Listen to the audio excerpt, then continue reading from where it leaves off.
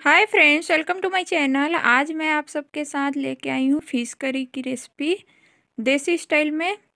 तो I hope आप सबको ये वीडियो अच्छा लगेगा। अच्छा लगेगा तो आप सब प्लीज़ लाइक और सब्सक्राइब करें और प्लीज़ शेयर करें। तो चलिए स्टार्ट करते हैं। तो यहाँ मैं चार चम्मच मस्टर्ड ऑयल ली मस्टर्ड ली हूँ और लहसुन ली हूँ तीन से चार पोट।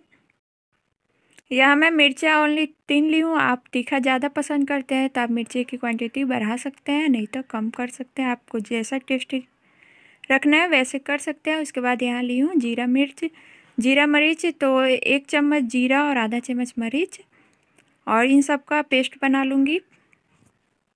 गारा पेस्ट रेडी कर लेंगे तो इसके लिए थोड़ा सा पानी ऐड कर ली हूँ और इसका पेस्ट बना लूँगी। ये सरसों से बहुत अच्छा टेस्ट आता है।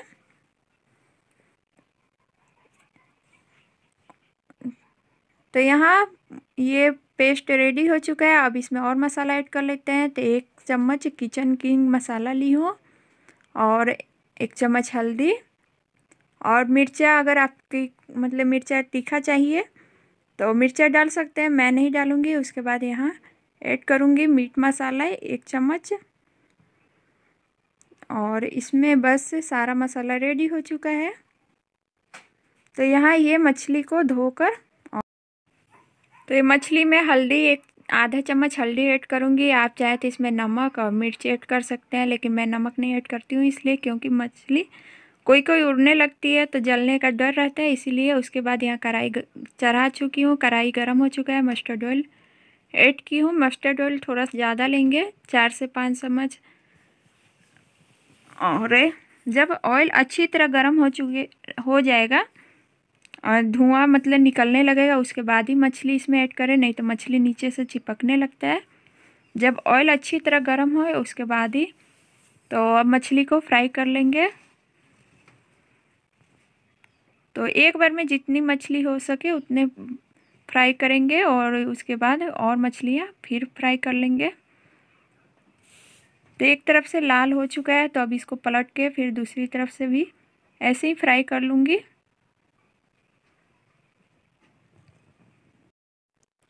एक बार ऐसे बनाकर देखें, बहुत टेस्टी बनेगा। आप बार बार बनाएँगे, अगर ऐसे नहीं बनाते होंगे तो एक बार ऐसे बना के देखें।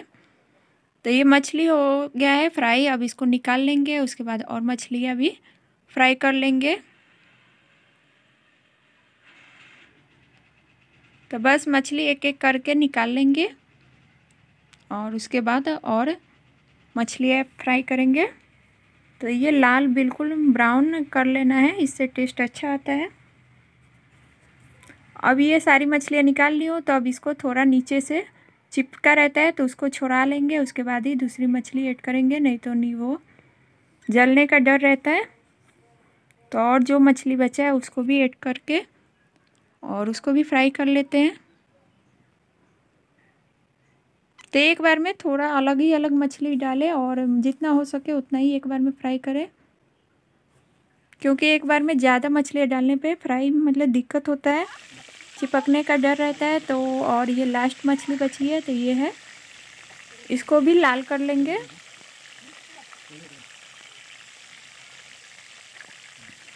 तो ये मछली हो चुका फ्राई अब तो मछली सारी फ्राई हो चुकी है तो अब इसी ऑयल में मेथी ऐड करके मेथी को लाल कर लेंगे। जब मेथी ब्राउन हो जाएगा, उसके बाद इसमें मिर्चा ऐड करेंगे।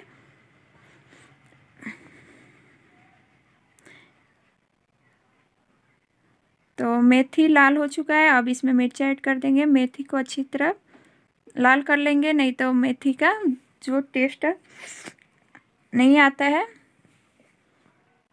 तो बस अभी इसमें मिर्चा ऐड कर लेंगे। मिर्ची की क्वांटिटी मैं कम रखती हूँ, आप ज़्यादा कर सकते हैं। तो इसके बाद जो सारा मसाला रखे थे, वो ऐड कर लेंगे और मसाले को भी थोड़ा सा पानी डाल के इसको अच्छी तरह भूनेंगे।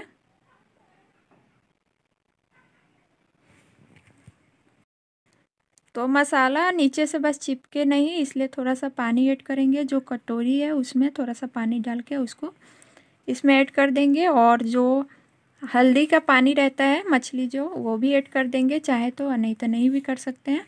तो अभी अच्छी तरह भुनेंगे, जब तक पूरे अच्छे से ऑयल ना छोड़ दे। जब अच्छे से ऑयल छोड़ देगा, इसका मतलब मसाला भून चुका है तो अभी इसमें नमक ऐड कर देती हूँ।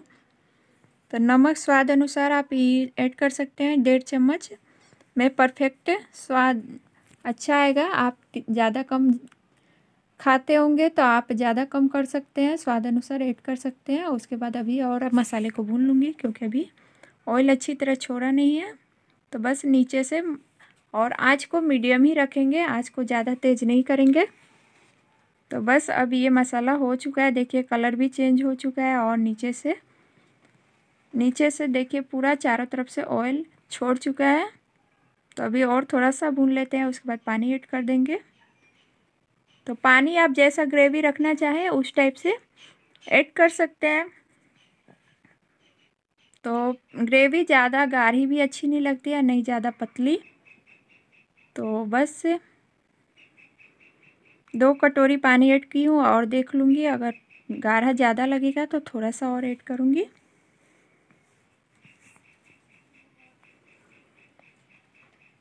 तो आप पहले पानी डालकर उसके बाद इसको चलाकर उसके बाद देख ले, अगर ज़्यादा गाढ़ी लगे तभी पानी ऐड करें, नहीं तो एक बार डालने से पतला हो जाता है तो बिल्कुल टेस्ट ख़राब हो जाता है क्योंकि ग्रेवी, मछली का ग्रेवी ज़्यादा पतला नहीं, ज़्यादा गाढ़ा अच्छा नहीं लगता है तो बस अब इसको बॉयल कर लेंगे पानी डाल के और जब अच्छी तरह बॉयल हो जाएगा उसके बाद ही इसमें मछली ऐड करेंगे। तो ये देखिए, अच्छी तरह बॉयल हो रहा है। अब इसमें मछली सारी जो फ्राई करके रखे हैं, वो ऐड कर देंगे और उसके बाद फिर बॉयल करेंगे। तो बस थोड़ा सा केयरफुली रखें, क्योंकि मछली हाथ जलने का डर रहता है।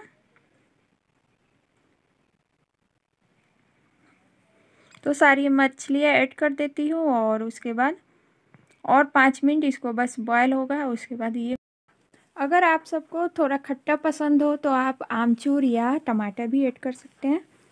तो और टेस्टी मतलब खट्टा लगता है तो टेस्टी लगता है। तो सारी मछलियाँ ऐड कर चुकी हूँ उसके बाद अभी, अब इसको ढक के थोड़ा और पका लेंगे पाँच मिनट और उसके बाद रेडी हो जाएगा। तो देखिए ये अच्छी तरह बॉयल हो रहा है और अच्छी तरह पक चुका है। तो ये मछली बिल्कुल सर्व करने के लिए रेडी हो चुका है। तो आप चावल रोटी, तंदूरी रोटी किसी चीज़ के साथ खाएँगे, बहुत टेस्टी लगेगा। तो आई होप आप सबको ये वीडियो अच्छा लगा हो। अगर अच्छा लगा हो तो प्लीज़ लाइक, सब्सक्राइब करें और शेयर करें। तो देखिए कितना अच्छा परफेक्ट कलर भी आया है, देखने में भी कितना अच्छा लग रहा है। थोड़ा सा ये ठंडा हो जाएगा तो इसका कलर और अच्छा आ जाएगा। तो प्लीज़ प्लीज़ प्लीज़ वीडियो को लाइक और चैनल को सब्सक्राइब करें और शेयर करें। तो थैंक यू फॉर वाचिंग। फिर मिलते हैं अगले वीडियो में।